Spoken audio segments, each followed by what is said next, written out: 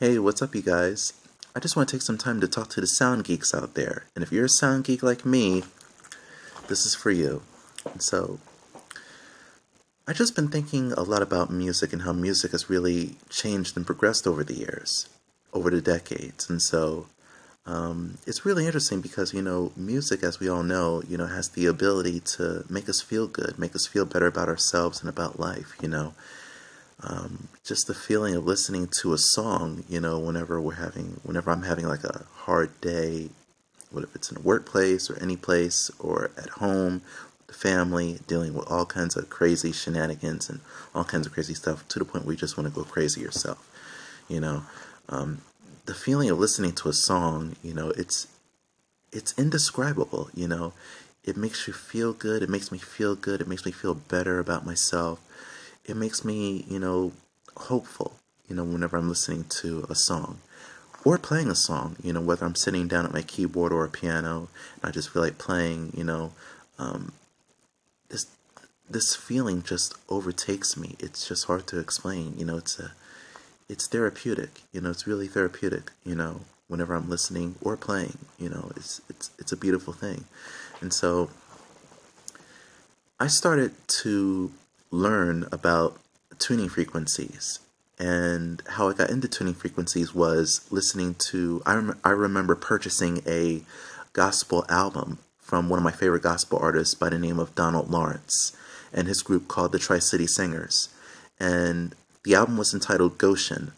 And I remember the single that Donald and Tri City dropped before the album was released um, was called Goshen 432 Hertz. And I thought to myself, 432 hertz, what is that? And I, I remember listening to an interview that Donald did as he talked about, you know, the single Goshen 432 hertz and the album that was coming up. And he, and he said that the whole album was going to be tuned at 432 hertz. And he expounded on that. He expounded on the subject of hertz. And he said that hertz is a tuning frequency. And I thought to myself, that sounds interesting because I never really thought about that, you know, because whenever I sat down at my keyboard, you know, it was already, you know, preset of the tuning is already set up and everything. And so I definitely don't have to worry about the tuning, you know, versus playing a piano, you know, because the tuning is already set on a keyboard, you know, and so I'm good to go. Whereas on a piano, you know, tuning is definitely a big deal, you know. Um, even for other acoustic instruments as well, you know, as far as guitar, nylon guitar, acoustic guitar, you know, um, violins, violas, um, cellos, etc., etc., you know. When it comes to acoustic instruments, you know, tuning is a big deal, you know, when it comes to that, you know. And so I started to really learn about, you know, this tuning frequency, all these different tuning frequencies. And doing research, um, even with you know the music I listened to from back in the day, back in the '90s, back in the '80s, back in the '70s, '60s, '50s, '40s, you know, and um, I learned that back in those days, back in those times, that music was tuned differently than what it is today here in the states, because today's music is tuned around 440 hertz. But back in but back in the day, back in the 90s, back in the 80s, back in the 70s, back in the 60s, back in the 50s, back in the 40s, and blah blah blah blah blah and all that stuff, you know. Back in those days, music was tuned differently than it is now, you know. To give you a few examples, um, there's a movie that was released around 1995 called Babe. And it's one of my favorite movies growing up as a child. And so, um, the gentleman who did the um, who did the score for the movie, who composed all the music for the movie, was a gentleman by the name of Nigel Westlake. And I even watching the movie today, you know, I I knew that the music was tuned differently, that the tuning frequency for all the music in that movie was tuned differently. You know, there's one song called If I Had Words. And I remember growing up as a kid, I remember trying to pick it out on my little Casio keyboard, that song in particular, and I thought to myself, you know, listening to that song when I was a kid, I thought to myself, hmm, that song was either written in either F sharp or G major. It, it was one of the two, you know. It took some time for me to really figure it out when I was a kid. And I thought to myself, the more I listened, the more I started to understand. aha, it was in F sharp. It was written in F sharp. And you know, this was look this is looking at it as an adult now, you know, and so I'm looking at it as an adult. I'm watching a movie as an adult, and I understand that the tuning frequency was totally different.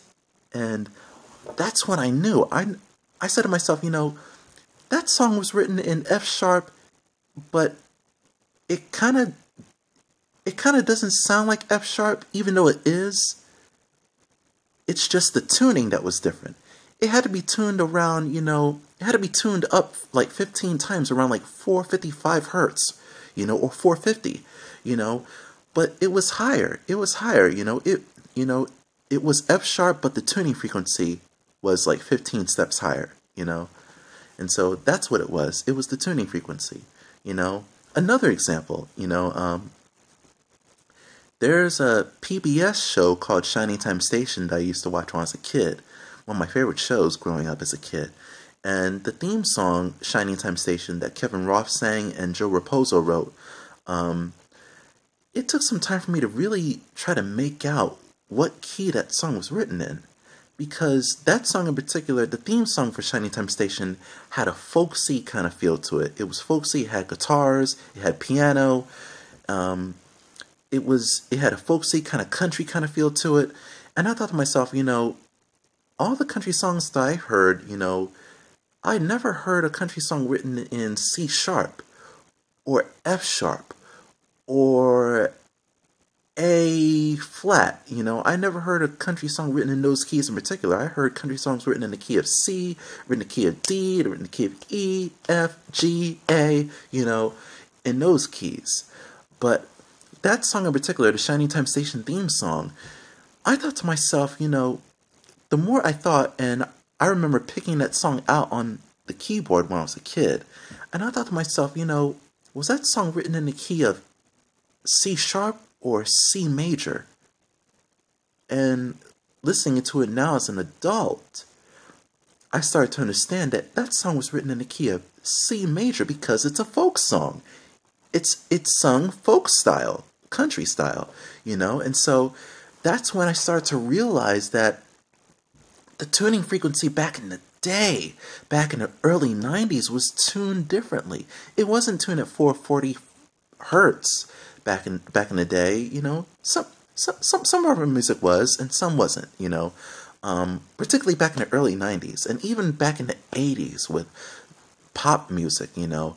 Um, Michael Jackson, um, some songs that he did, you know, like The Way You Make Me Feel and Leave Me Alone, you know, The Way You Make Me Feel written in the key of E natural, you know, and, you know, how the tuning frequency on that song was totally different. Totally different. That and the song Leave Me Alone, which was written in the key of E flat minor, E flat minor, you know, and that's when I started to realize that the tuning frequency for those songs in particular was completely different. It was totally different. And so that's when I started to realize that. And so I just the more the more I done research on that kind of stuff, the more I started to learn, you know, about all these different tuning frequencies, you know. And um it was really interesting because, you know, um because there's been a lot of you know debates you know there's been a lot of you know arguments among people among other musicians among music lovers about you know songs being written in a certain key you know whether it's a television theme song or or or a song from back in the day. You know there's been a lot of debates on whether this particular song was written in the key of C or C sharp you know and it's all because of the tuning frequency you know and those arguments still go on still to this day you know and, you know, it's the tuning frequency because the tuning frequencies back in the day, um, years ago and decades ago, was totally different than what it is now here in the States in particular, you know? Different parts of the world, um, music in different parts of the world is tuned differently.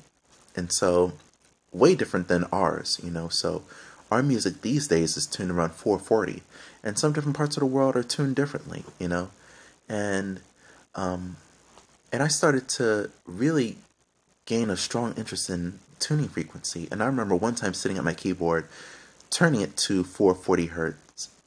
Actually, it was already set at 440 hertz. I remember turning it down to 432 hertz.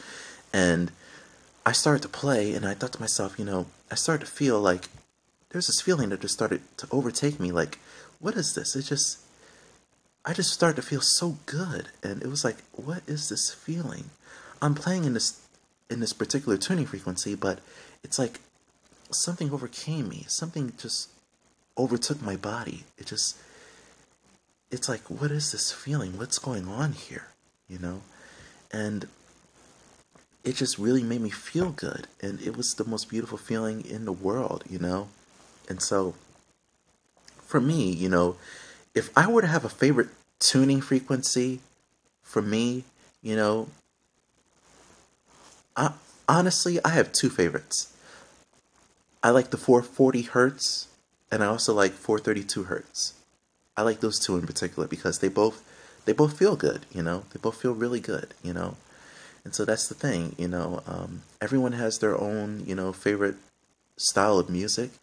Everyone has their own you know way of you know how music how they think music should be tuned for them in particular you know, because, you know, honestly, you know, as we all know, you know, to each his own, to each her own. You know, we all have our own, you know, we all have our own likes and dislikes, you know. It's just something that makes us, you know, unique. It's just something that makes us, you know, different, you know, as individuals, you know.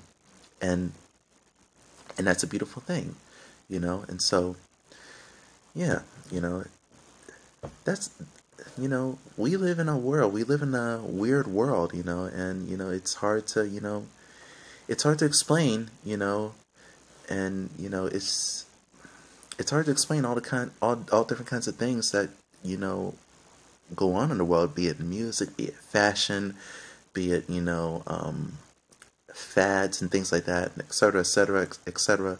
You know, all kinds of things. You know, we live in a weird world where, you know, it's like, you know, we there's all kinds of there are all kinds of interesting things that you know that I'm just you know curious about. You know, it's just it, it's it's pretty interesting. You know, so yeah, I just thought I would come on and just talk to you guys about that. You know, just share what it is that I learned. You know, and just what it is I want to share with you. And I hope you guys got something got something out of this.